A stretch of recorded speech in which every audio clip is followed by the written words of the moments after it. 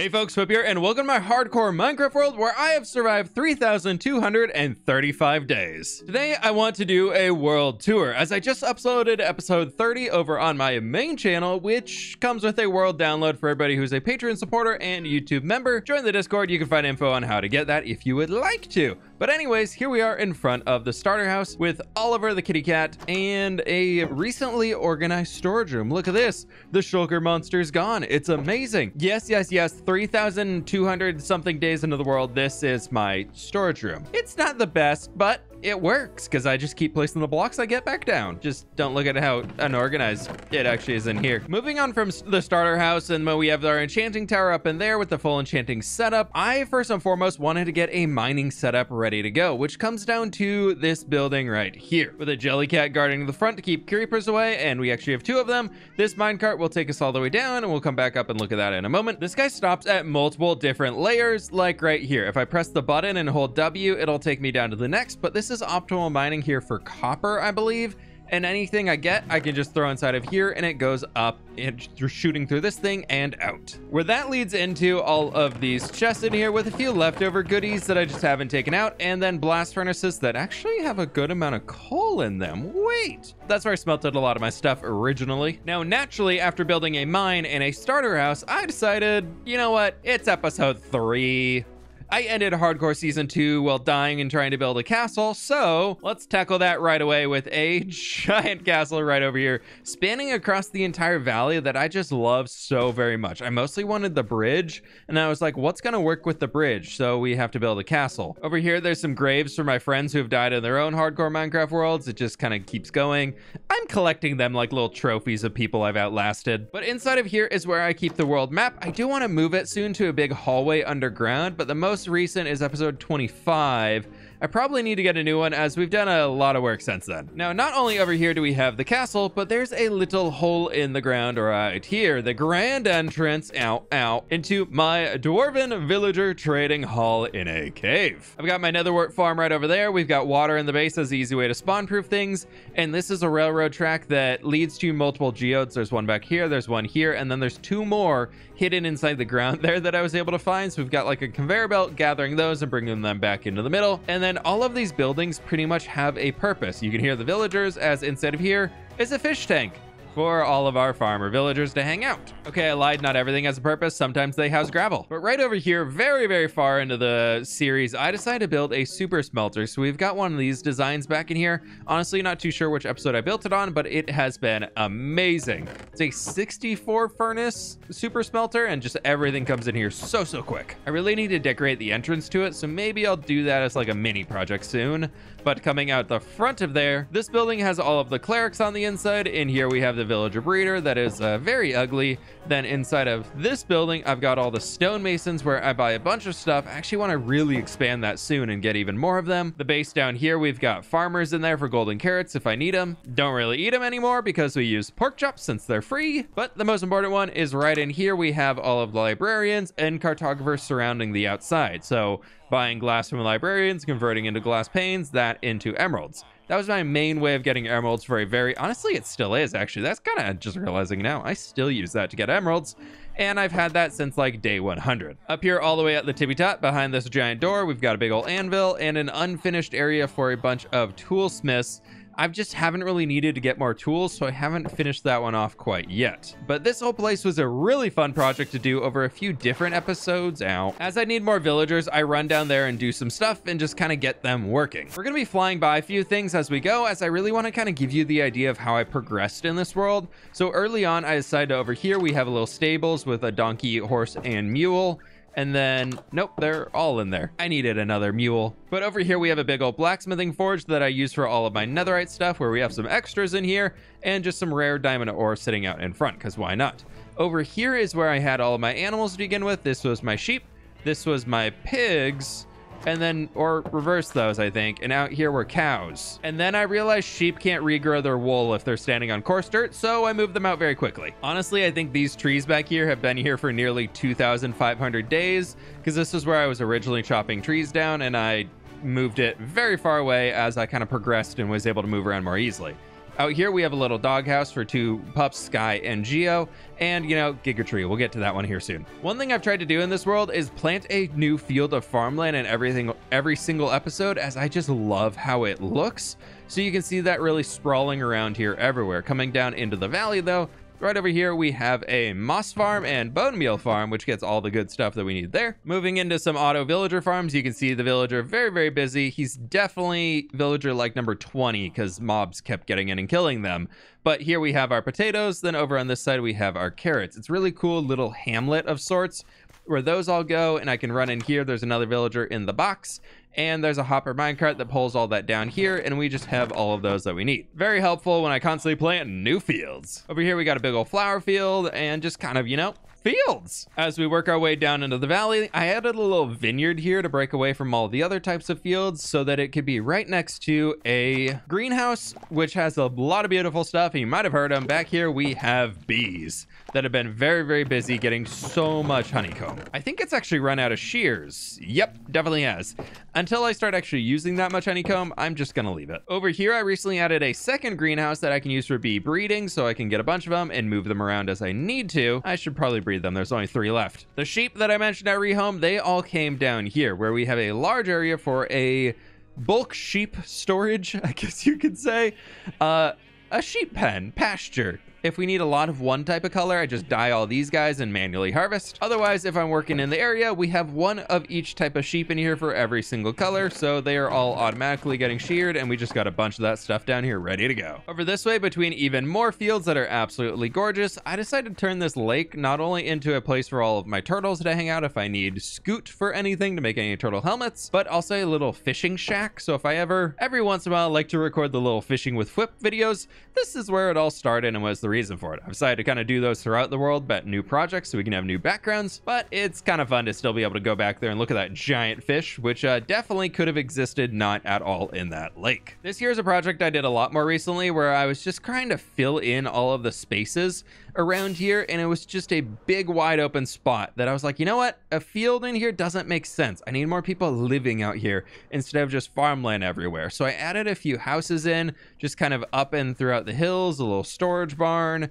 and I just really love how it's turned out. And they have a little access down into this pond which originally I'd kind of envisioned as once the it would flood or something, they'd be able to get out over into here, but it doesn't really make sense. So I got to rethink on that one soon. But along with that, we've got another little farmstead right up in here, which is very cool. A very cool custom tree with candles as like colored blossoms at the top, which I love. And a bunch of, this is the first place where I started using some of the nether foliage in the overworld. And I really like how it's turned out. But here we have a little grain silo, which could be lifting hay grain up and storing it on the inside, which you can also get access to in here. That definitely needs a floor. We've got a little farmhouse over there. And then this one I actually did decorate with a nice little place to stop in a bed if I need to come by and sleep a night away. Of course, we have the beautiful birch tree with a little workstation behind and moss on log right there, the original. If you get the joke, you get the joke it's a cool i don't know it's a thing. Before we touch up on this village right here i want to come over to world spawn. I built my starter house at the top up there but all the way over here is actually where i spawned into the world. At these four torches is literally where i started right here. And we started by going down into there got our first coal right over in that cave and ran off that way before i realized oh wait i could just walk around here that's fine. There's a cactus farm at spawn that does absolutely nothing. There's also an allay here because i had an extra one uh, that doesn't work because it's not loaded in, so it's ugly and I need to remove it. But up in here, what does work because it's Spawn Chunks build is we have the Iron Farm. It's absolutely amazing for single player stuff. It's more than I could ever need. Look at all those blocks. I am never gonna go through all of this. I could really turn the farm off and save some leg, but it's fine. This is where I first started telling stories in the world with like a mystical something powered by the amethyst that is holding on to the essence of what the buildings used to look like. So I tried taking all of the glass up here and mimicking the shape of like a tower over there and another tower on the front as if this was like a mini fortress and I kind of want to do more of that throughout the world. It's also as holding the giant Giga Tree together and everything like that. A quick little stop up here, there's a giant pit in the ground, which this is one of my favorite things I have ever made. It was an absolute headache to begin with, but we have an auto wheat farm that is powered by villagers picking up the crops, and then because they can't get to the composter, the wheat stays on the ground. Which means the allays you're seeing running around, they pick it up and throw it over here as he, he's just chucking it. It's completely overflowing. I really need to expand the storage because it's full all the way up to there. But the allays pick it up and drop it off at the note blocks to return the wheat, and slowly it just stacks up. Now, up at the top of the hill here, we have a storage room. This is a giant lumber mill that I built, and I absolutely love it. So we have all the different types of logs in here. It was an auto sorting system, so you can see all the hoppers behind it, but for some reason it doesn't work and I can't figure out why. So now I come in here and just manually sort it all. There was supposed to be excess overflow coming in over here and ending in there, and then I'd move them into the barrels for the different types. I just do it manually, but it's fine. I still love the build. It looks really nice. So over here we have like a sawing section, so the logs can come on their cart down here get right here into the saw and then go inside the mill for storage. I've got a little system there where the saw is actually powered by all these turning mechanisms that connect over here to a water wheel that I kind of love, inspired by the dwarves down in the cave. They have a lot of water wheels, and so I rebuilt one of those designs up here to kind of show that the dwarves and then the people living on top are kind of working together. One thing I actually missed at my starter house right here where we started the tour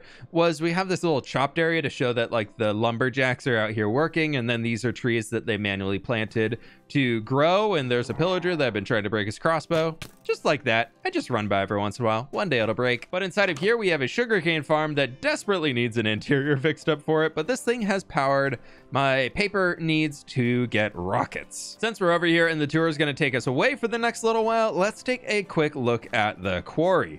I wanted to build another storage room. As you saw, the one over there was dedicated to logs and wood goods and everything like that. I decided to build a storage room dedicated to stones. So down here we have the quarry that's very blocky and looks very man-made, you could say. So there's a lot of tools and machinery down here, different layers. There's a back entrance into the city that doesn't exist on that side quite yet. And I really want to make it super geometric with large boulders and stones as you're walking around that really looks like people have been carving this area out instead of something more natural. But the most important part probably is inside of here we have stone, stone brick, we have the cobbles, deepslates, nether goods go back there, tuff and dripstone. Yeah, dripstone in there. We got andesite diorite, and then we got bricks and granite right over in there. So I can just come in here, unload shulkers and everything I need, as you can see.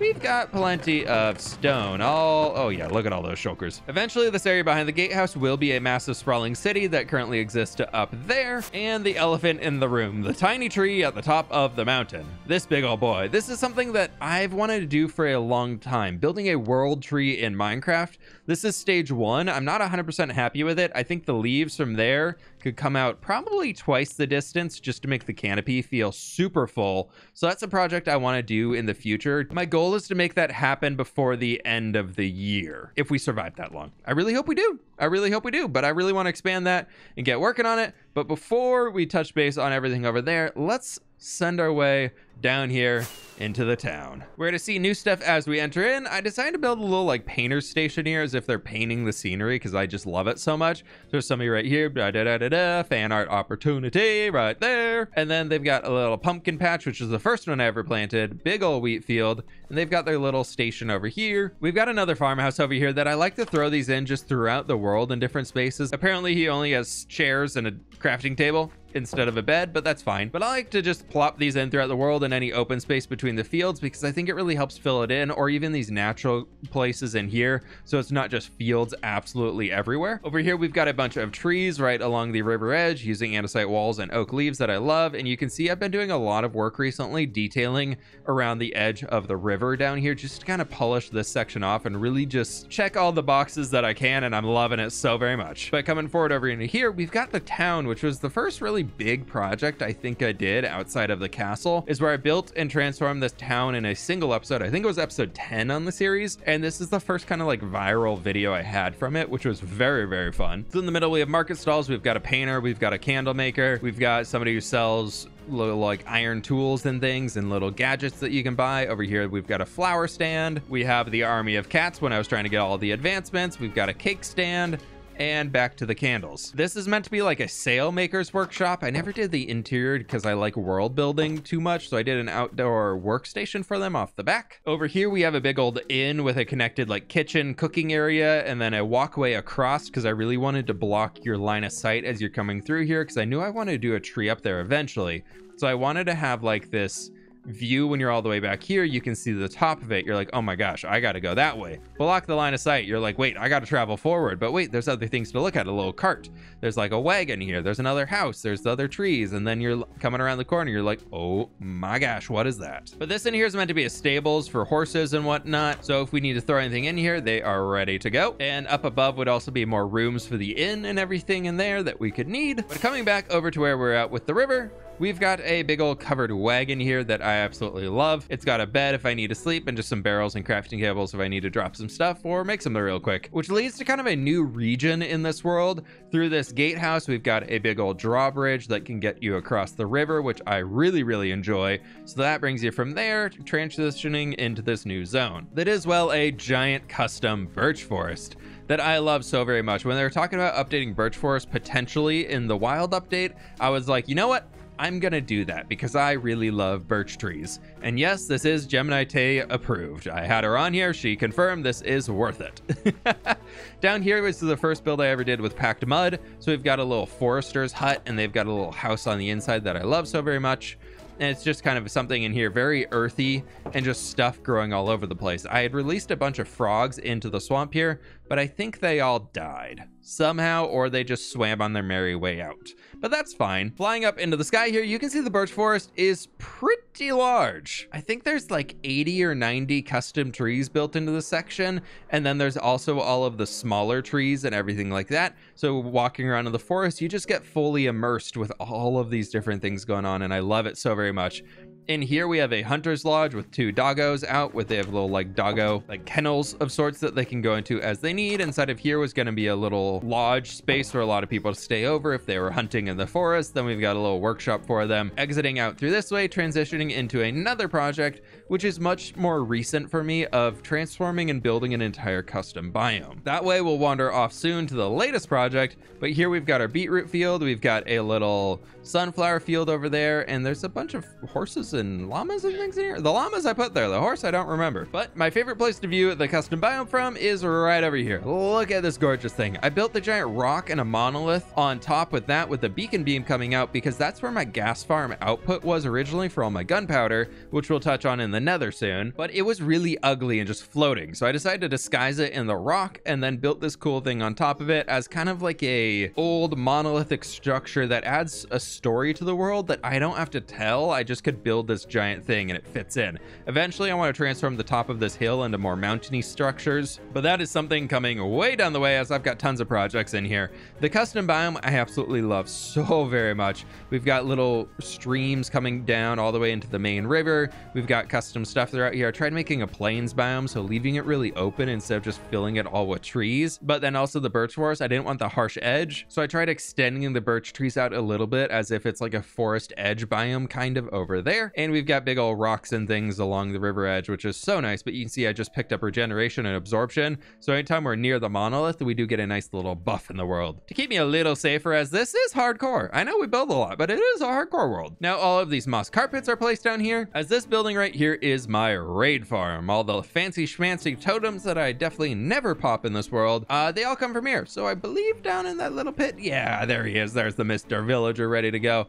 I can pick up Bad Omen from all the pillagers up at the top of the hill, run down here, raid activates, and I hide underground and then all of them come in here and we can just get the totems. It's fantastic. At the top of the monolith, there is an entrance to the inside that I did say was for the ghast farm, so you can come in here, drop on down, and all the storage for my gunpowder and ghast tears and everything is right there, and the output for the farm comes through that way. I'll finish off that room into a little cavern eventually, but for now, I've had other projects I want to focus on. These take a lot of time, so unfortunately, a little bit of the finer details you don't really see all that much. Like the behind the scenes things, I just kind of do on my own when when I have time. But over here is one of my, literally is the most recent project. This is episode 30, building this entire village and building all of these tulip fields and everything like that. Episode 29 came out a little bit before where we transformed the entire biome, built all of these river networks and everything like that, the bridges, and got flower farms, transforming the entire flower forest biome that was this hill is now massive tulip field. So we have all the different types of tulips. We have white, which gives light gray dye. We have pink, orange, and red in here ready to go. They're all auto farms back in there.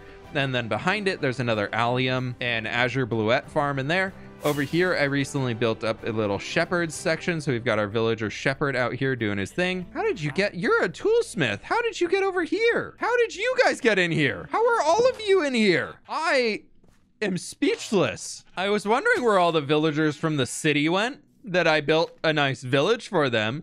Apparently they've all just come over here to live inside this space. Okay. All right. Yep. They all are going to live in here now. Okay. Well, behind them, which I built this here so that one, it could run while I was working on the village project, but it's a nether tree farm, which is fantastic. I don't like automating the grind out of Minecraft because it's really fun for me, but we can get all of the nether goodies and I hate gathering nether nether trees. So I just never really use crimson or warp stuff in builds. So I figured an auto farm would mean that I actually use the blocks, which I'm very happy I made the decision to do that. I have kind of rules I've set for myself where I'm never going to build a general tree farm. I'm never going to build a cobblestone generator or any of those things that produce those really easy to get that just take a little time blocks in the world. I really want to keep that as a way to continue grinding and playing the game on all aspects. I'm not a huge technical player, so that type of stuff is more grind, just get it done and move on. So it's not super important for me. But what is important is creating environments that I feel like are really livable. So these villagers haven't went to the shepherd's house quite yet, and they all really enjoy themselves over here. We're really having so much fun at the stonemasons house. Yeah, it's abs it's an absolute blast. We're just hopping all over the we really love it here. Oh, bedtime. I hooked, this is a bell tower. There's bells hidden underground that chime every single night to go to bed. Still a little early. We've got little market stalls throughout here that are divided up to all the different workstations. So they're just kind of doing their own thing. Like we've got a Fletcher, we've got a weaponsmith, we've got a shepherd over here and then this building inside of here, they all kind of right now just have beds and workstations for them, which I think unfortunately the villagers that worked in here now live with the shepherd. Out this side of the village, which goes over to all the flower farms, we have the inn kind of leading across here. I really love this style where an inn just kind of goes over a street, stables are attached to it, and it's all kind of one structure. So you'll see that a lot throughout my worlds just because I love the design and I do it in different ways each time, but it is the thing. Over here, we've got a toolsmith villager house. This is a butcher villager house, which, uh, I did put a smoker in. Good, good, good. Right here, you can see the librarian because he has his house right there. This is a big spot for the water mill out in front that I love so very much. And it has a lot of job blocks, which might be why the villagers are going over there because they're seeing this and they're like, I can't get to it. Let's go say hi to our friend. But I really love the water wheel sitting here on the river. I think it's absolutely amazing. I tried adding in a lot of little cypress trees and things inside of here. So we're back at the stonemason. Over here is a leather worker where they have a little workstation out back for two cauldrons. So two leather workers. Are you a leather worker? You're a toolsmith. Okay, never mind then. We've got a few row houses in here just for general villagers, for farmers mostly, and then the chapel, the chapel of the world tree, which this is, I'm saying, because the world tree, you can't see it quite, it's over that way but it's made of an acacia log. So I used an acacia sapling and then the top is azalea leaves. So I put a flowering azalea bush on top and I just love it. I try really hard to not draw too much inspiration from any like real world things unless it's just like general architecture styles. And one of those things is as far as like religions and whatnot go, I just try and keep it to my own little weird Minecrafty thing. So we have the world tree religion of sorts in here that it has its own weird circular structure that really just kind of looks like a garden. but coming out this way, you can see where we have all of the orange tulips, a bridge leading over here to where all the red tulips are, and a small apiary in the middle of the fields where these bees love fence. He loves, he loves fence. Really, really loves tree. Uh, they go into the fields occasionally and get all the stuff that they need, and it's fine. Before we jump back over to the base and check all that stuff out, over here when the wild update release and we got access to mud, the first thing I was like, I could build a castle out of that. So I decided to build the mud brick castle, which is probably half made out of mud. At this point, it might actually be less than half because there's brown mushroom blocks, there's dripstone, there's bricks, there's jungle and jungle planks, there's other non-mud things. Wow, look at all the lack of mud in here. I actually think that tower is mostly mushroom block. But it's my mud castle, I swear. I'm not like those people that build an entire dirt mansion where there's three blocks of dirt in it and call it a dirt mansion, I swear. But this is something I really enjoyed and slowly my plan is to grow the world out from where I'm at now, which is why I keep doing projects and building off of here. So there's a road that does connect all the way back through there over to the castle. You can see right in there. And eventually I want to fill this all with fields and farmhouses and just more stuff like the villages as we move our way through. Definitely here in Spawn we'll be adding some more, but that'll come soon. As for now there is a massive project that I have been working on slowly and steadily throughout this entire time that I'm really excited to keep working on in kind of the next chapter of this world. The massive Grand City. And the entrance here you can see we have a few windmills as ways of processing all the crops and grains and everything that come out of the valley here. There's a little mountain spring that comes down along the edge flowing through it all and eventually ends up in that pond and I am really, really happy with how this turned out. I even went through and decorated the interiors. So they they're all unique on the inside, but they have the little milling stations in here and different ways to get all the way up to the top so you can kind of check things out. Where there's like a really rough system for putting it all together over here but I, I, think it works. I think it's okay. It's minecraft after all. The stuff isn't meant to move. Unless i install the create mod huh? Maybe oh uh, no. No no no. It's vanilla. It's vanilla. I won't do it i promise. Maybe. Outside of the city, I want to have a place for travelers to rest, so we have a small inn here with the stables attached for their horses to hang out. That'd be a little bit cheaper than going inside of the city walls, which has been a fantastic project inside of itself.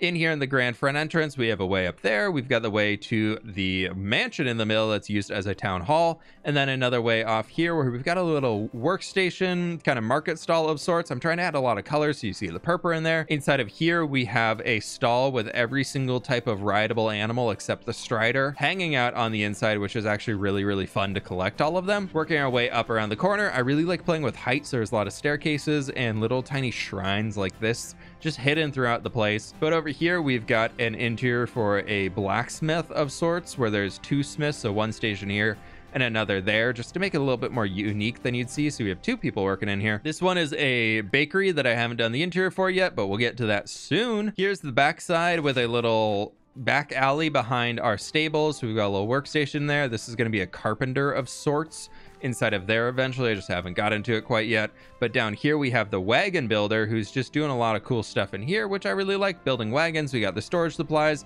and we've got the little working stations around there.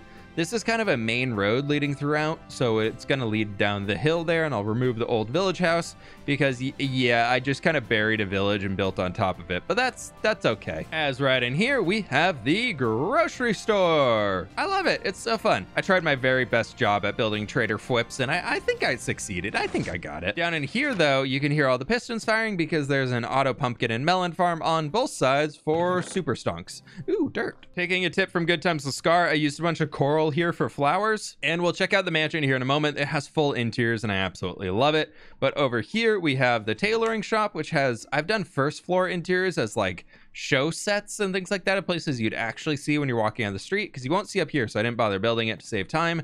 But here we've got a little tailor section. They have their like try on room and design room.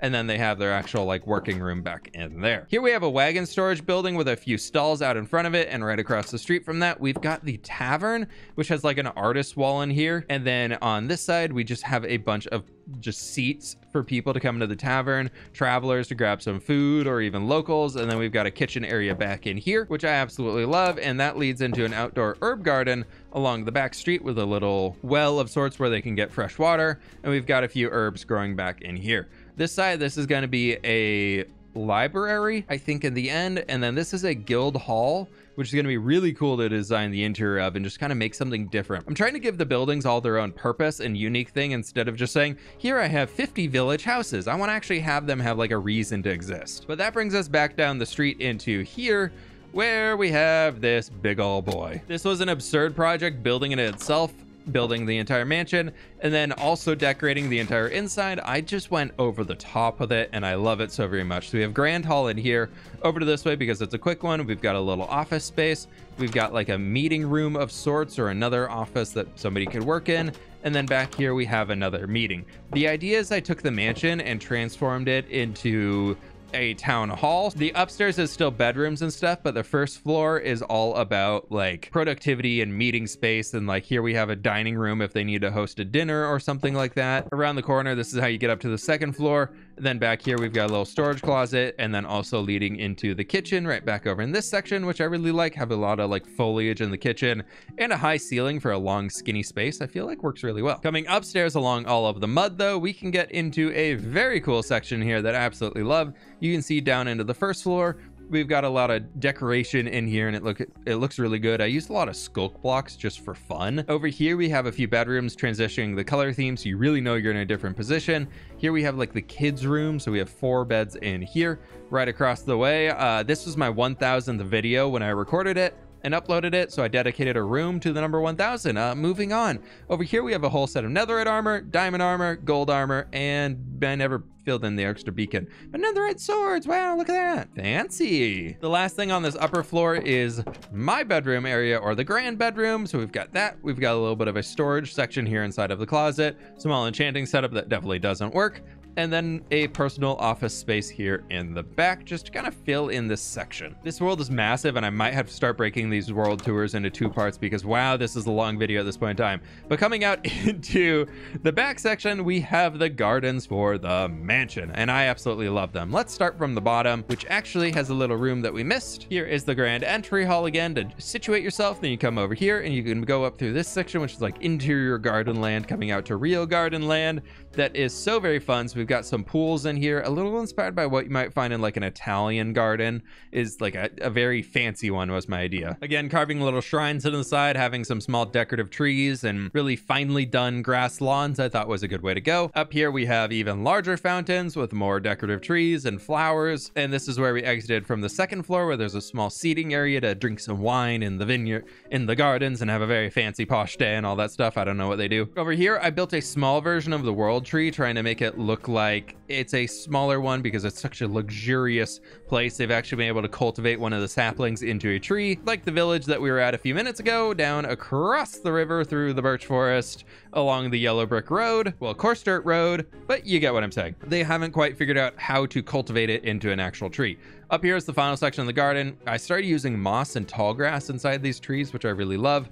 But here we just have a really cool little something, little something, decorative piece in the garden because I didn't want to just plant more flowers and I really wanted something to hang glowberries from. So I guess it's a trellis kind of i don't know that is pretty much everything we built in this section of the world yeah i know that's not even it back over at the starter base section there is a little pathway down here into a cavern that will take you down this very very nice ominous tunnel of soul lanterns into the nether with a foggy glass floor that I love so very much. It goes all the way down to like the full fog effect. And I tried lighting it at different layers with glow lichen. So it kind of was not just a flat matte color, but it actually has some depth to it. But inside here, we come into the nether with a very grand exiting nether portal right there that, yep, it's so beautiful. As we are on the nether roof, I have my nether hub built here going in all of the different directions. Over there, we have Hoglin Farm. Here we have Giant Ghast Farm. Around the entire middle section, we have little piglin bartering stations. So there's two piglins in there, give them some gold, they fill up the chest down below. I cleared out all of this bedrock by hand with the TNT breaking method to be able to fly in and out from there. Yeah, that was like a five hour task. Would not recommend. But over here, you can see a massive gold farm. That thing is absurd. If I run it for like 30 minutes, it fills up almost 40 double chests of stuff. So it's it's very good. It's very, very nice. I don't have to AFK there that much, if ever. Over here, we have ourselves a magma cube farm. No, this is the froglight farm. And then here we have the magma cream farm, which both needed to go in a basalt delta. So they're all the way down here as the closest one, but you see all the froglights and the occasional magma cubes. And then that is purely magma cubes. I got really lucky on my nether hub where things were in every single one of the directions, which was fantastic. So Crimson Forest, Hoglin Farm, Soul Sand Valley Ghast Farm, Basalt Delta all the way down there for the Magma Cube things, and regular Nether Waste on that side for that lovely old thing. Now, on top of that, we can dive down here into the Nether where I've done even more stuff. Of I built an entire perimeter in the nether, well, I destroyed an entire perimeter to build a wither skeleton farm. Except I do need to take that back one or two more blocks because it still works. But they come in here, I can either have the dogs kill them or I can drop the doggos down and do it myself. That has been an absolutely fantastic way to supply bones and coal for this world as the bone meal farm I have doesn't work all that well. Now, if we follow this row of torches where I do eventually want to expand the nether hub to kind of encompass these areas, and build some really cool art up into the sky there. I think it'd be super fun. Through this portal, though, leads to the overworld again, where we have an entire drained ocean monument that I really want to come back in here soon and completely decorate this into something Atlantis city styled. Tear down the monument, build a big obelisk into the sky, towers on top of all those, bridges and things interconnecting all over the place. If you saw Lizzie's base in Empire Season 1, I kind of want to do that, but bigger and grander, and I think it's going to be very cool. So that's something we will tackle soon as I drain the whole thing, and I haven't built anything at it yet, so I, I kind of kind of gotta do that one, you know? Hopping back into the nether to fly to the next portal. I still don't know where that one goes. I never use it anymore. It must have been for something, but we want to go to this guy. That leads into my massive stronghold transformation where I put six torches down on the ground. Uh, and we can walk forwards into here, which I would love to transform this soon into the end where we have the Giga Tree. I destroyed all the obsidian pillars, took those down, removed the bedrock at the top points, and built this. A end version of the world tree floating out here in the middle of the void, which I love so very much. All of 20 dragons have been killed to unlock the portals going around here. And eventually, let me know what you think about this one. I'm kind of playing with the idea of building more things around the outer edge of this, like more islands and things. Kind of playing with the idea of a cyberpunk city, just because I've seen a few other people do it and it looks really cool and I kind of want to do it. But I worry that's going to take away from the grand glowiness of this. So I kind of want something out there, but I'm not sure what. I know for sure I want to do some fancy glass art underneath this, because if you turn on the shaders, you get this, which is gorgeous. And I love the way it feels like we're in a nebula in space. And I want to recreate that down underneath with like a really cool nebula of like purple glasses, lighting them up with glow lichen and foggy effects like we get through here. Just seeing that out at the base would be amazing. Shaders off though to make sure it's not too laggy. Inside of here at my wither killing station if I need to from the wither skelly farm. The dragon egg was returned just floating above where it originally was. And the inside of this is really cool. You can kind of look into the void from this side at all the tendrils going out. They're doing their own thing. Otherwise, inside of the end, to make sure we're touching on everything here, we've got the Enderman farm over there. And if we fly through this portal, now, we can fly off into the end islands where you can see this entire watery covered area that is a wither rose farm that I use a lot for black dye. And there is the wither, so let's leave him alone. I do have a squid farm in this world, but it's really not the best, so I tend to use that guy as it's way quicker. Back here to world spawn, spawning in the little chasm that uh, I said we spawned right there, so we're pretty close. One day, buddy, you'll get off the lead. One day. It's okay. Yep, I know. You enjoy your fate. Now, 3,239 days survived in this world. It took four days in game to get through looking at everything, and I'm pretty sure I missed some stuff or just like walked right by them and missed it all. So if I missed any of your favorite parts, let me know down in the comments below, and I'll be sure to upload a second part where we can take a more in-depth look at some of those things. If you want to see more regular, slower paced world tours, be sure to leave a comment down below and let me know that as I enjoy walking through this, and I know in the main channel videos, things do go by pretty quickly. So if we want a more slower pace stuff, let me know, and we can maybe start doing tours after the main videos. Would that be a good idea? You let me know. But with that, my friends, leave a like on this video if you did enjoy. Subscribe to Fwhip2 if you have not already. I'm really close to hitting 100,000 subscribers, and I'd absolutely love to get there, so I really do appreciate the support. Thank you so very much for that. But with that, my friends, we'll catch you all on the flip side. Bye!